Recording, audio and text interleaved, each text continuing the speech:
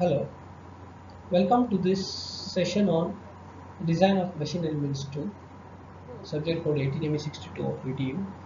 So in the last session we have seen the design procedure for the helical gears. So in this session I will be solving the numerical on helical gears.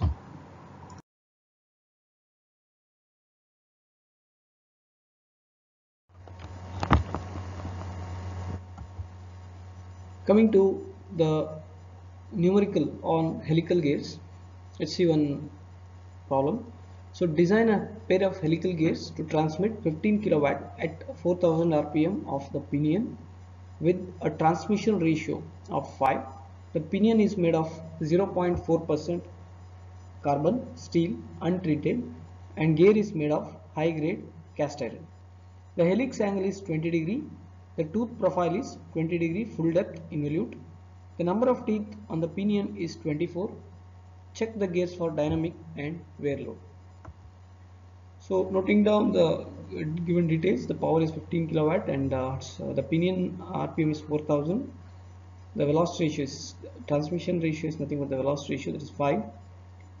Then the materials are given but the stress values we need to take from the table so also the helix angle is given that is nothing but beta that is 20 degree. Type of tooth profile is 20 degree uh, full depth involute. Also the number of teeth on the pinion that is z1 is given in the problem. So therefore we know that the velocity ratio i is n1 by n2 that is equal to d2 by d1 that is equal to z2 by z1 so therefore, using this N1, we can find out what is the value of N2 that is nothing but 800 RPM and also Z2 is equal to I into Z1 so that that will be 120 number of teeth.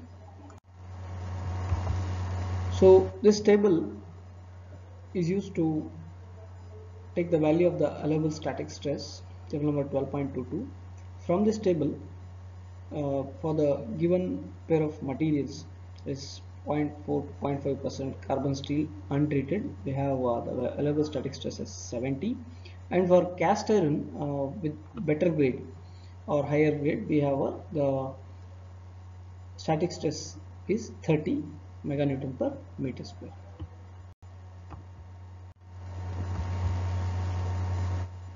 So coming to the finding out of Lewis form factor. In helical gears it is based on formative number of uh, teeth or uh, virtual number of teeth. So this is what we have. So therefore uh, we have the equation for y that is Lewis form factor given by equation number 12.5d for the 20 degree full depth involute system. So that is 0.154 minus 0.912 by z so in place of z, let's substitute ze which is nothing but the formative or virtual number of teeth.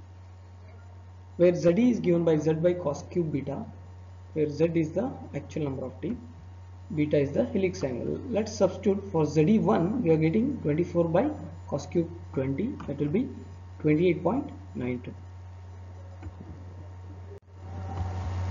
and for Z2 it will be Z2 over cos cube beta. That will be 120 by cos cube 20 that will be 124.144.61 that is a, the formative number of teeth on the gear so therefore we can find out the Lewis form factor for the pinion and the gear using this uh, equation by substituting here the values of Z1 and Z2. So we are going to get uh, the value of Y1 as 0.1224 and for Y2 we are going to get the value as 0.1476. So next step is to find the weaker member between the two pinion and the gear. So we need to go for the strength factor for the pinion as well as strength factor for the gear from this we can observe that if you multiply sigma d1 y1 it will be 8.568 multiply sigma d2 y2 it will be 4.48 so the value is less for the gear so therefore the gear will be the weaker member. So same uh, values uh, can be shown uh, like this in the table and uh, the gear gear is the weaker member so therefore the design will be based on the gear next step is to find the module. So for this uh, again using the equation 12.7a for ft tangential tooth load. And uh, since the service conditions are not given or mentioned we need to assume let us assume the medium shock conditions with 8 to 10 hours service per day. So from table number 12.8 we're going to get the value of the CS service factor as 1.5 for this condition. And the value of pitch line velocity can be given by this equation by d2 into by 16 to 10 power 3 because design is based on gear but for the helical gears the pitch circle diameter d is given by the equation 12.19 e that is z into mn over cos beta. So therefore for d2 we can write as z2 into mn over cos beta. So if we substitute the value of beta keeping mn as it is we get d2 in terms of mn that is 127.7 mn. So where mn is the normal module for the helical gear. Coming to the velocity, substituting this value of the velocity I mean uh, diameter in terms of mn here so n2 is 800 so substituting we get the value of velocity as 5.349 into mn. So substituting these things in the ft equation 12.7a so the power is 15 kilowatt. And substituting the value of cs that is 1.5 and uh, the value of velocity which we obtain we're going to obtain the value of FTS 4206.39 divided by MN so also we have the Lewis equation given by equation number 12.24a that is FT is equal to sigma D into CV into B into capital Y MN divided by CW so using this uh, substituting for Y that is cap uh, pi into capital Y is given by pi into small y. And uh, here we also need to substitute the value of the CW in the denominator. That is nothing but the wear and lubrication factor for the case of uh, helical gears. So we need to take the value from the table number 12.21 so now from table number 12.21 let's select the value of the wear and lubrication factor CW Let's select for enclosed gears continuously lubricated with the oil of proper viscosity and character for which CW will be 1.15 and substituting this in the equation number 12.24a that is the Lewis equation. Here sigma d refers to sigma d2 and uh, y refers to y2 so this is for the since the gear is the weaker member. So uh, substituting the value of ft in terms of mn we have. Then sigma d2 is 30 newton per mm square. Keeping cv as it is let's take this value of b that is the face width as 15 times the normal module mn because the range for the face width is already I have told is 12.5 mn to 20 mn so then substituting the value of y2 and also the value of CW in the denominator. So from this we get Mn into Mn into Mn that is Mn cube into Cv is equal to 23.16 is the required value of this. So we need to do trial and error in order to find out the uh, standard uh, value of the normal module. So let's go for the trial first let us take uh, arbitrarily the value of mn as 3 millimeters for which uh, the velocity is given by 5.5.349 into mn so therefore if you substitute the value of mn as 3 mm you're going to get the velocity as 16.047 meters per second. And since the velocity is lying in the range 10, 10 to 20 meter per second we have the uh, equation for the velocity factor given by cv is equal to 15.25 over 15.25 plus v equation number 12.25 c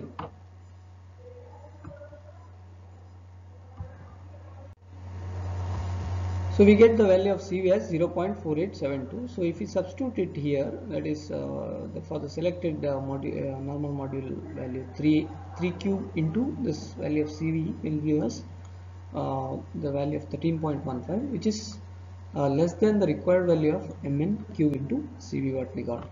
So therefore, let's go for the next value. This uh, for trial 2, let's take mn as 4 millimeters. Now here if we see the value of velocity will be 21.396 meter per second. And since the velocity is greater than 20 meter per second we have this particular CV equation from the equation number 12.25d that is 5.55 over 5.55 plus square root of v. So if you substitute we are going to get the value of CV as 0.5454 so now if you find out the value of mn cube CV uh, that is 4 cube into this value of CV we are going to get the value as 34.90 now this value is greater than 23.16 so therefore uh, it is satisfactory. So uh, we can take this value of the uh, normal module because it is greater than the required value. So therefore select referring to the uh, table of standard module from table number 12.2 this value is there so therefore we can take the value mns uh, 4 mm okay? This should be 4 mm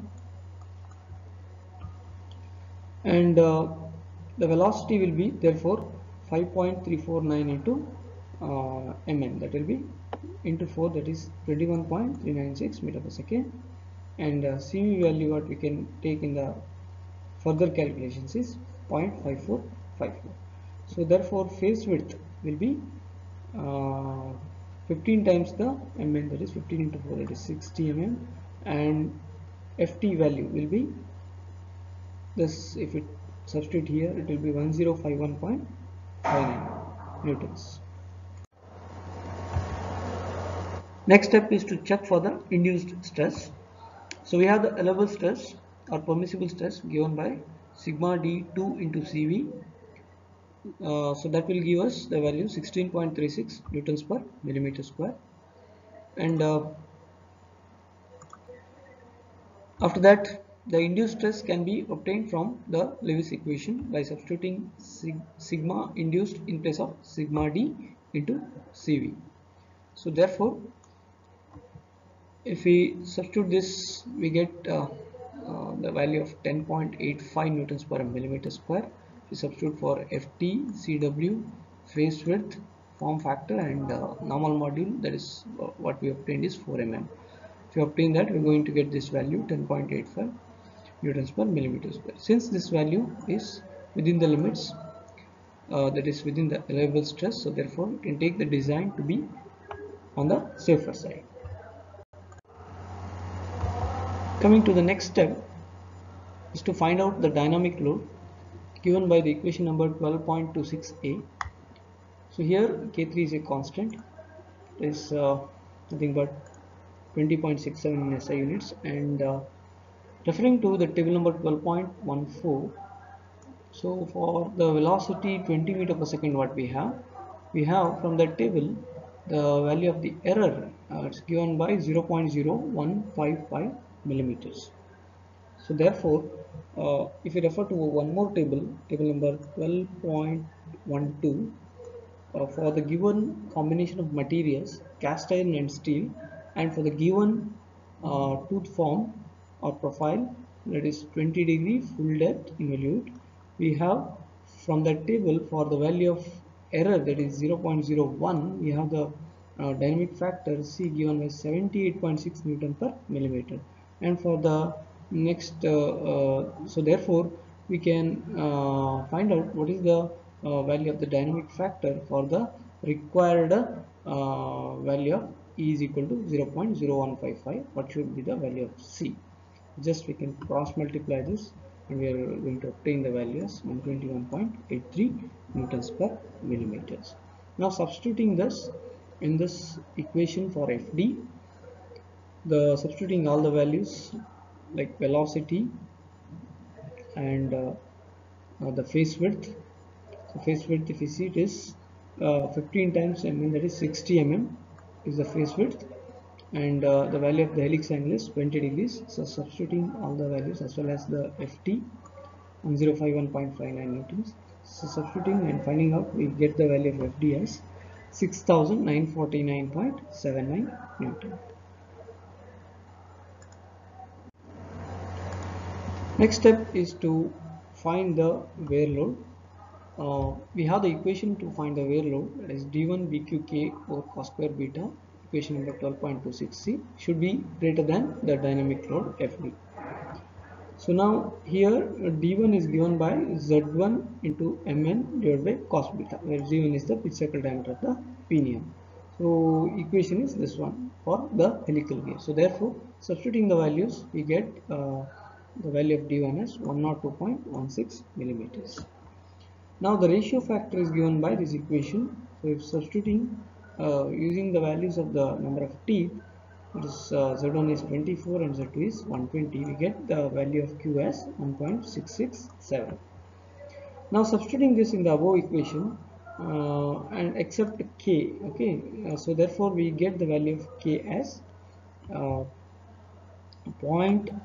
0.6031 so here this is the value of the dynamic load so this should be greater than this. So therefore value of k what we obtain is 0.6031 should be greater than this value.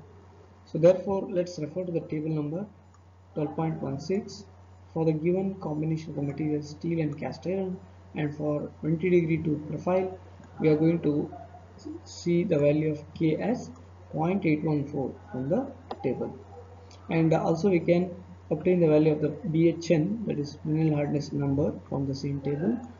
For BHN for the pinion we obtain it as 200 BHN for the gear it will be 180 so this is the this completes the solution. Hello. So in this session we are going to see the second problem in helical gears.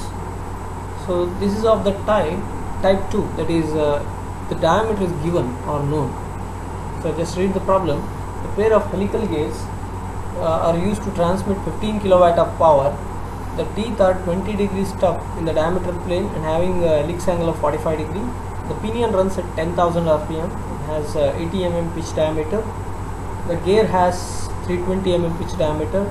If the gears are made of cast steel having a allowable static strength of 100 MPa determine the module face width and check the gauge for wear strength. The limiting st uh, stress for surface fatigue is 618 megapascal. The modulus of elasticity is given 207 GPa. Take the service factor as 1. So this is the given data.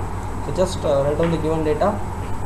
And here uh, the stress, the allowable static strength is the same for both pinion and uh, uh, the gear and given as 100 megapascal or newton per millimeter square.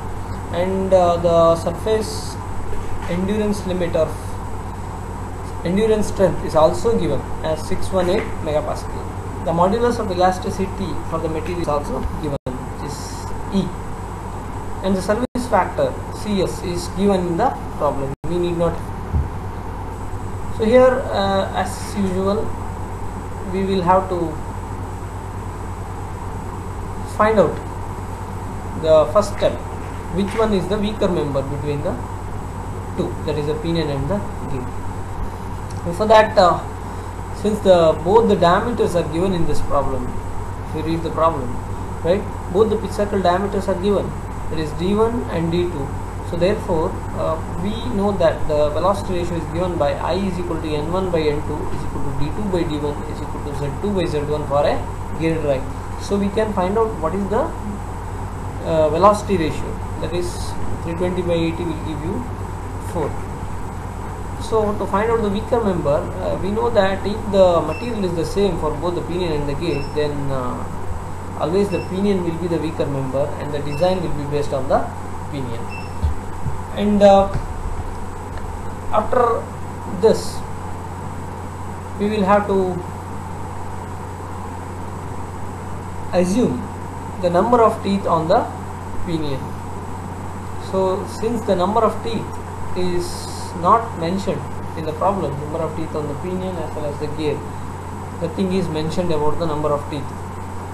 So as I said uh, in the case of spur gears if the number of teeth is not given then we will have to tentatively assume the number of teeth. Say generally I said uh, will, uh, it should not be less than 18 uh, you can start from 18 18 or 20 like that.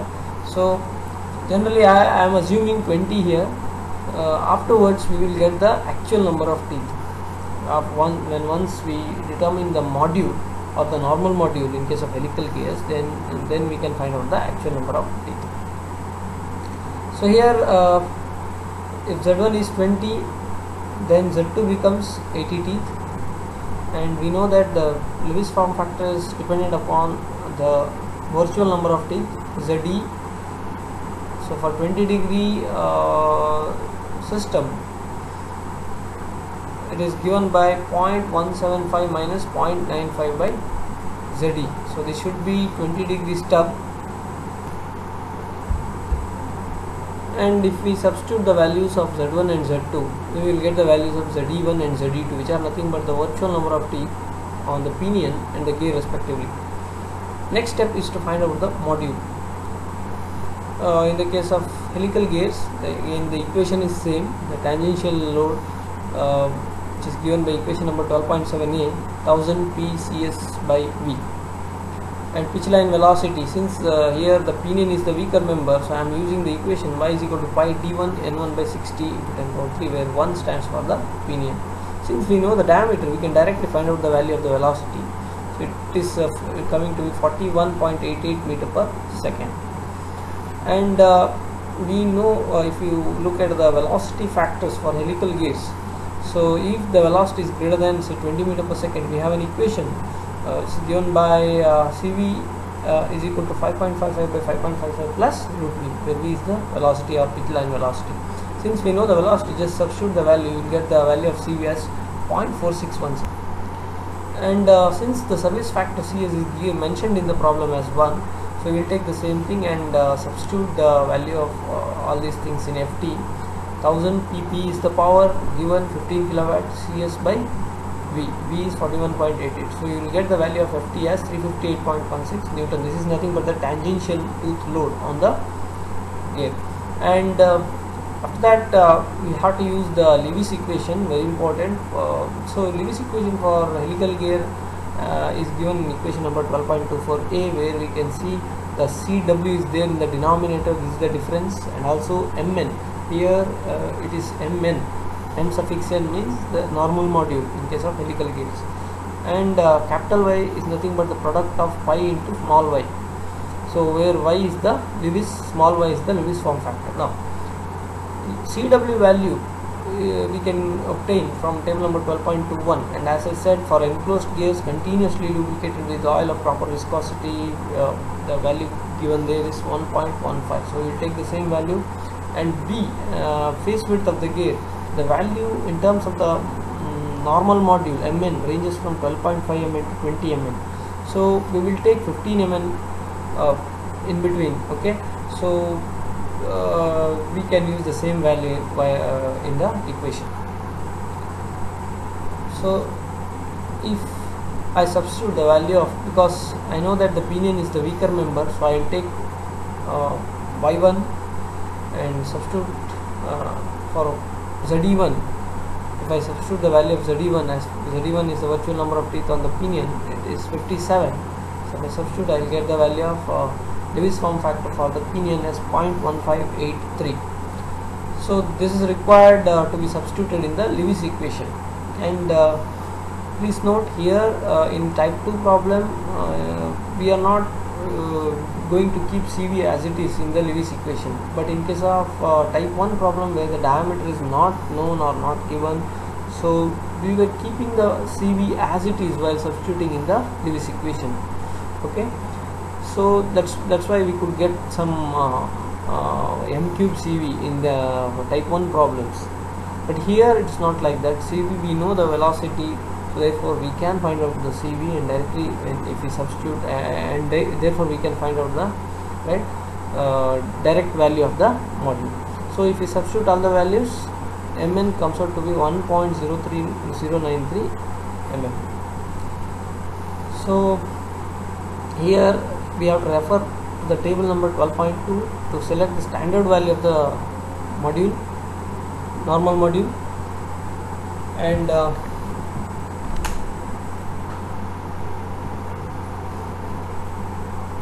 the standard value if as you can see is uh, 1.25 mm from the table uh, the preferred value first column. Therefore once we find out the standard value of the normal module from the table next step is to find out the actual number of teeth on the pinion.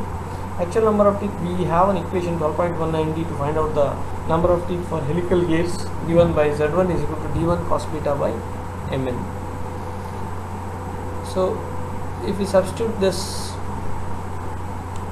d1 is given 80 beta is given it is the helix angle 45 degree and mn we have found out the standard value. If we substitute we will get 45.25 we take it as the nearest number 46 teeth so therefore we can also find out the actual number of teeth z2 as i into z1 because i is equal to z2 by z1 so that comes to 184 teeth so this is the actual number of teeth on the pinion and the tentatively we had assumed the number of teeth as 20 on the pinion.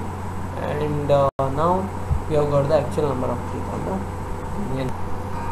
Next step is to check for the induced stress. So uh, this is the same step as we did in the case of uh, spur gears allowable stress can be given by the product of sigma d into cv where uh, cv uh, we substitute uh, it as 46.16 induced stress can be found out from Lewis equation.